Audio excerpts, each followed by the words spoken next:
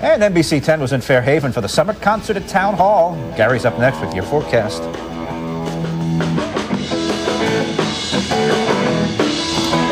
That's some music tonight. Uh, that does it for us tonight. Thank you for watching. Be sure to join Frank Coletta and Kelly Bates tomorrow morning for NBC 10 News at sunrise, starting at 5 o'clock. The kids are having a good time. That's Fairhaven Town Hall there. And that